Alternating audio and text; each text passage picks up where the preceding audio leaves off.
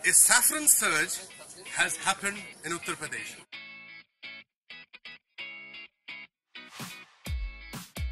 These kurta sellers have been making kurtas for MLAs since the 70s and now they are busy sewing saffron kurtas. अब तो BJP की सरकार आई है तो केसरिया ही पहना जाए पंद्रह साल के बाद बीजेपी की सरकार आई है बहुत से वर्करों का कुर्ता फट गया होगा अब सब लोग आएँगे। ऑर्डर मिलने लगे आपको क्या अभी से? हाँ, ऑर्डर मिलने लगे बहुत लोग। ऑर्डर दे दिए हैं।